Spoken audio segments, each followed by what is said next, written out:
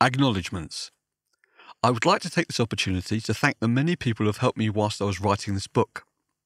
As you know, books don't spring forward out of a vacuum. This story is no different. It was inspired by the real struggles of the heroic and outstanding people who every day have to fight to overcome their disabilities. On a personal level, I couldn't have written this book without the constant encouragement over so many years of my darling wife Avril, who has stood behind me when necessary and always at my side, whether or not I have deserved such love and support, as have Georgia, her husband Matt, Sarah, my daughter, and Daniel, my son, and his wife, Dr. Sarah. You've all waited so long and patiently for me to be the writing man I was supposed to be. In my short professional life as a novelist, you need all the help and guidance you can get, and again, I have been singularly blessed. Without this reading like an award accepting speech, I also want to pay tribute to my remarkable parents, who were both long since together in the afterlife.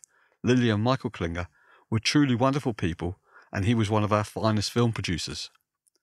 Many years ago, when I was 17, my then agent, the late and lamented Greg Smith, told me I should be a novelist, but I persisted with my career as a filmmaker.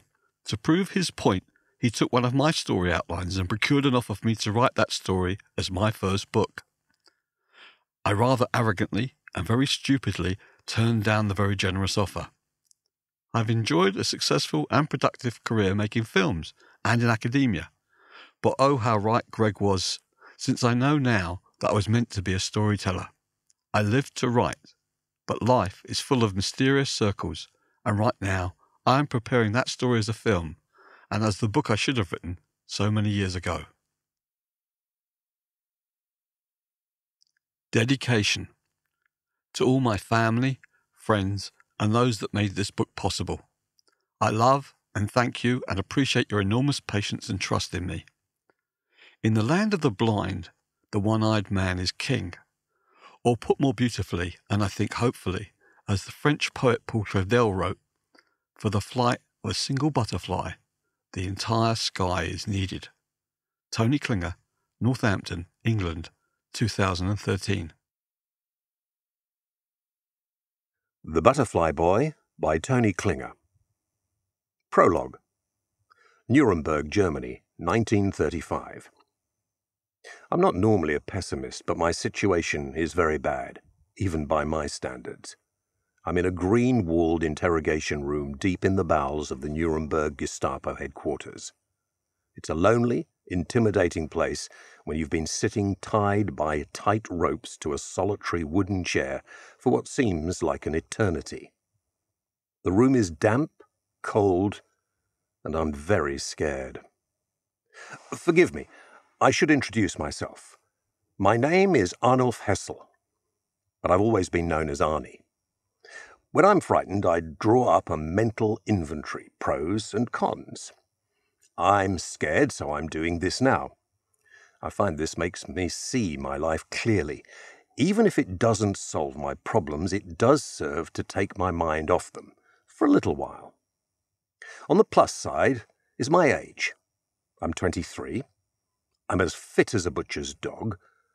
I've always been bigger than most men, not far short of two metres or nearly six foot six in other English measure. This has always been an advantage for me, with both men and women. I wish I were in a warm bed with a hot woman right now. Back to the list. My eyes are blue, my hair is what I shall call dirty blonde, although my loving mother has always insisted it is the colour of corn. Above these surface pluses, I list my love of painting, and this love dominates my life, becoming a bit of an obsession, as I have grown better at it with time and patience. As I look around at the depressing, claustrophobic little room, I find more negative thoughts crowding my mind unbidden. Of course, I do admit that I can be a bit obstinate sometimes. Okay, all the time. Some see strongly held beliefs as a virtue, but on this evil night, I'm forced to admit this trait has landed me on this chair in this terrifying room. Being of mixed parentage, I normally insist is an advantage, but on this particular night, I will admit that having a Jewish mother, however loving and kind, and a Christian father, who I don't really understand, is not a good thing for your health in Hitler's glorious Third Reich. I can hear footsteps approaching in the corridor, and I can't help but tense up in my chair. The heavy fall of booted feet on unforgiving concrete jars my nerves like a series of alarm bells. The noise ceases as they reach the door of my cell, and a key is turned in the heavy lock of the metal door. I compose myself, trying to wipe the fear from my face. But you can't control the sweat that pops unbidden onto your brow, this mute traitor of my self control. Two men enter the room. One, Ratweller, is dressed in a civilian suit, and he's thin he reminds me of a hairless white rat. His head and face are pointed, unnaturally smooth and feral. But it's his eyes that I shall always remember. They're black, lifeless pools, magnified horribly by metal framed spectacles. He is Rat, because that is how I can best describe him. Preceding his bigger, fatter, uniformed colleague Rat and I were renewing our long since moribund school connection. We'd never been friends. Hello, Arnie. You do remember me, don't you? We were friends at school.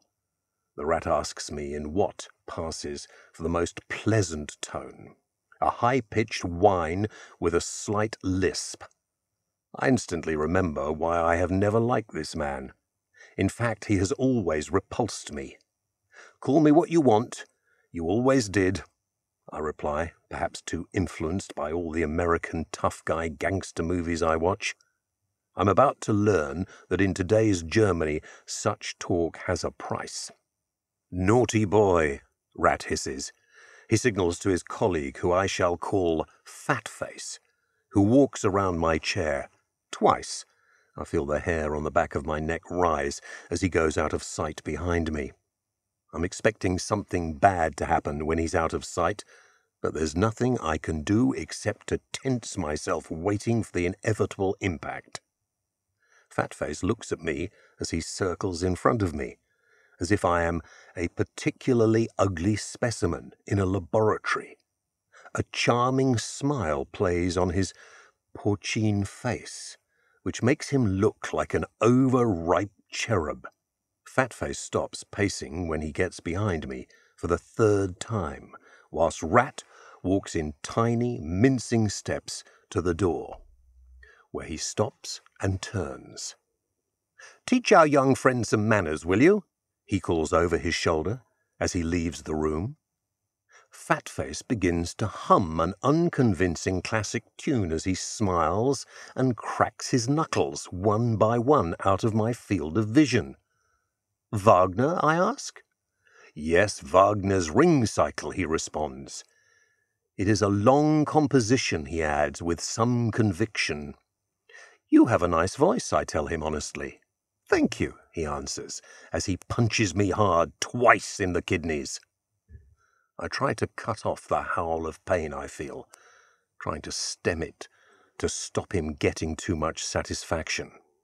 Just as I think I'm managing the pain and the situation, Fatface slams his fist into my right ear, making my hearing go flat, and the sounds in the room echo. My eyes are swimming with unbidden tears. Now he hits me in the left ear, systematically jarring me so the pain reverberates through my body, robbing me of coherent thought. Fatface is still humming his tune in his pleasant voice. But now it's sounding a little strange because of my ears. I could feel the blood from them drip down onto my neck. He is still smiling as he walks in front of me to continue his work. He removes his jacket and shirt of his uniform and pauses.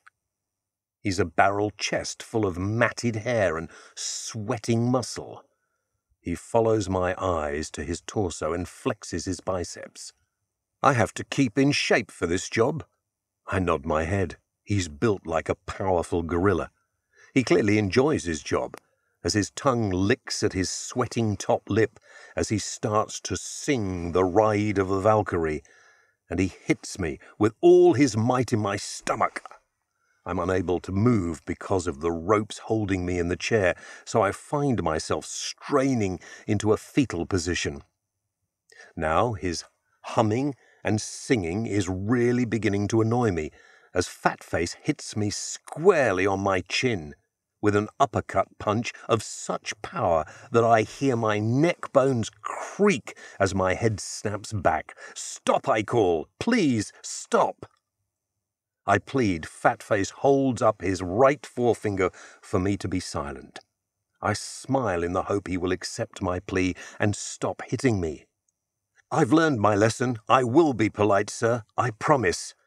I don't care if he knows I'm a coward, but I can't take much more of this beating without permanent damage.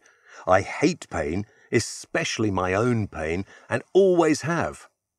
Fatface smiles but there is no warmth reaching those cold eyes.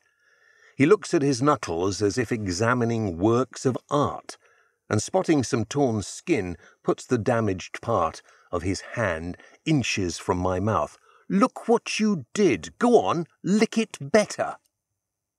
I don't have a choice, do I? I leaned forward and lick his knuckles. He sighs appreciatively and strokes the back of my head with his free hand. Good boy, he says. That's very nice. He removes both hands, and then without pause, he cups them both and cuffs me as hard as he can on both my ears. I howl in pain, but as I do so, he forearms me in the face twice I feel two or three of my teeth being dislodged, and I spit them out as to avoid swallowing them. Fatface has resumed his singing and humming, all the time smiling. It's his obvious enjoyment of his sadistic beating that makes me lose my last vestige of self control and fear.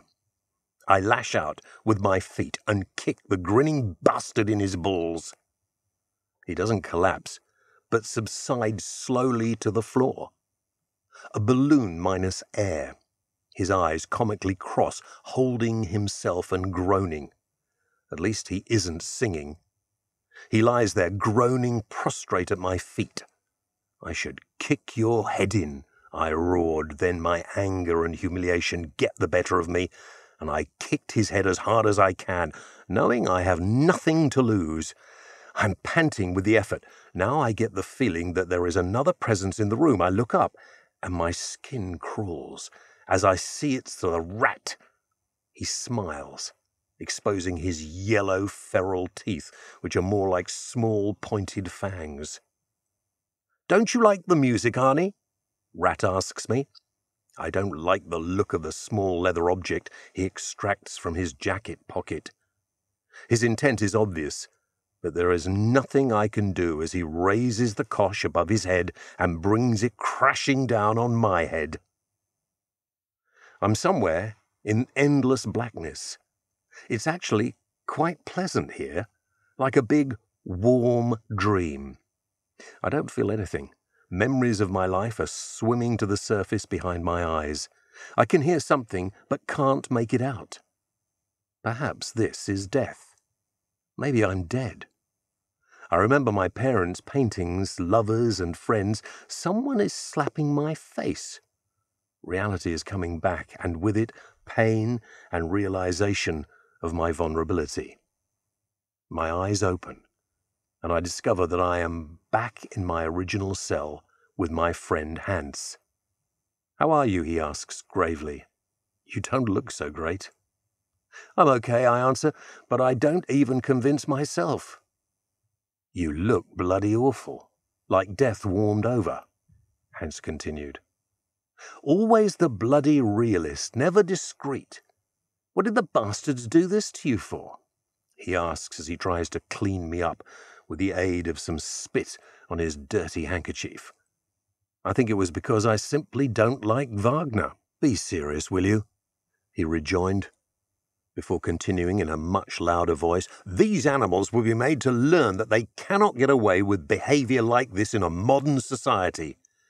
He speaks with exaggerated volume, hoping to scare the listeners we are both convinced lurk just outside our cell door. I would keep quiet if I were you, Hansy, I warn him. It really doesn't pay to upset the servants of the new order. Hans throws back his aristocratic Prussian head and hoots with laughter. Don't tell me the little corporal's frightened Arnie Hessel. I don't believe what I'm hearing. The little man is a bad joke, a momentary aberration. He came, and he will go, like a puff of smoke. Puff! He's here, and puff! He's gone, not a trace. You mustn't let these little bastards grind you down, Arnie. It's not in your nature to give in. Hans claps me on the shoulder and I wince in pain, as it's one of the many places I've been damaged by the sadistic fat face. It gives me another jolt of pain to join the many others, jostling for my urgent attention all over my body. Sometimes, I say to my friend, you have to bend with the wind before it becomes a storm and it snaps you in half. To adapt, or you won't survive. Before I can complete my warning, the door of our cell bursts open, and in comes Rat and Fatface. Commendable sentiments, Arnie, Rat says, happily smiling. He turns to Hans and continues. You would do well to learn from your friend's lessons, he says to Hans. You don't scare me, you lousy little bastard, shouts Hans. Fat Face is on Hans before he can even draw breath, punching him to the ground. Rat pushes me out of the cell before I even realize what he's doing. I can hear that Hans is taking a beating, but there's nothing I can do about it. I move down the corridor as Rat shoves me forward, using his boot to prompt my movements. I don't want to feel the weight of that cosh on my head again if I can avoid it. You're a lucky man, Arnie. Rat breathes quietly to me as he marches me towards the gentleman's toilet. You're not a queer, are you? I ask as he jostles me to a row of sinks opposite the urinals. Very amusing, he laughs, and just for fun, he hits me in the stomach, which makes me bend over at the waist, bringing my face down to a level of the wash basin. He holds my head down with one of his hands whilst turning the cold water tap on with the other. Rat begins to wash my face with a strange intimacy and attention that is even more unsettling than his previous brutality. He continues to talk as he does so. You're a very lucky young man. If I'd had my way, we would strictly impose the laws dealing with the defectives like you, and that would be an end to you and your line like you. It's what comes when you take good Aryan stock and dilute it with subhuman blood.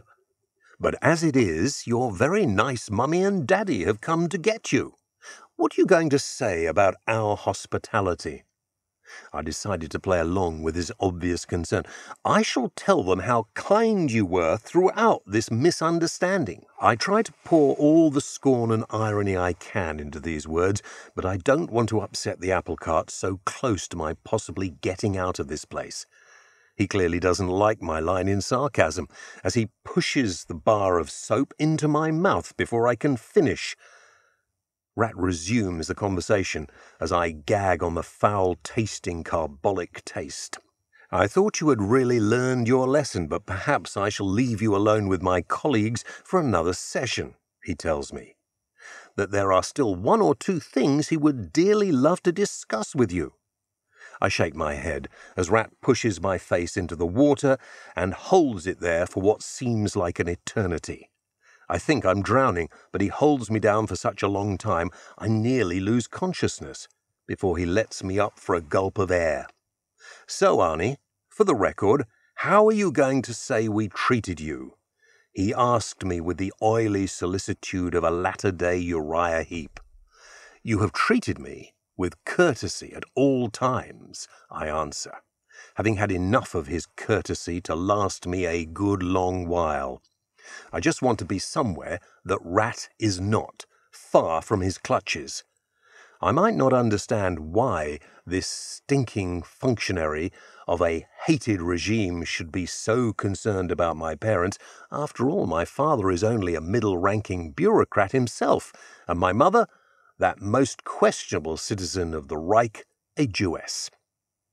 I don't arrive at any conclusive answer to this interesting question, as the cleansing process is concluded without further incident. Rat dries me off with brisk efficiency, although his every gesture is permeated with loathing. He finally unties my bindings, which had, of course, been totally unnecessary in my particular circumstances. My wounds are now patched up and are largely concealed under a fresh change of clothes supplied by Fatface, who gently helps to dress me. I catch my reflection in the mirror and am amazed at how normal I appear. Rat ushers me into the hall with elaborate courtesy, as if he is leading some visiting potentate on a tour of his station house. During the walk towards the public part of the building, Rat becomes even more unctuous. Now we can all forget that little bit of unpleasantness, can't we, Mr. Hessel? I smile in response. I just can't believe or understand the reason for this total transformation. What about my friend? I ask, sensing now is the time to do deals. He's already been released while we were cleaning you up after your accident he answers as he stands before a large wooden door and hesitates. It goes like this Our story you got involved in an unfortunate brawl. You were arrested. You took your punishment like a true son of the fatherland. No hard feelings. He holds out his hand to shake mine. Forgetting my problem for a moment, of course, I ignore his small discomfort. Why shouldn't I say the truth? That your brown shirted thugs attacked me and my friends while we were having an innocent drink in our favourite beer hall for no reason. Then we were arrested, beaten up again for no reason. Then I'm let out, again without an explanation that makes any sense. And now, what do you want? A bloody thank you note? The little rodent of a man controls himself barely, and I think that whatever strings my parents have pulled are seemingly too strong for this bastard to do anything about them. In any event, I do hope we meet again in more fortunate circumstances. Perhaps we can discuss our time at school together. Rat says all of this as if it might even be true, with a sickly smile playing on his face but never quite reaching his dead eyes. At your funeral, perhaps, I respond with more sincerity. He opens the door. I push past him, and the first thing I see is my lovely mother. It's only a year since we last saw each other, but the time has somehow diminished her. She's more frail. But when she smiles, the room is still lit up. I follow her eyes, which nervously indicate some warning to me. I don't know what, until I turn to my left and I see my father. My mouth drops open in shock. He is dressed in the full black uniform of a Gestapo officer. My world is falling apart. My father now a member of the Nazi elite? My mother a Jew? I find myself saying hello as if I am a puppet.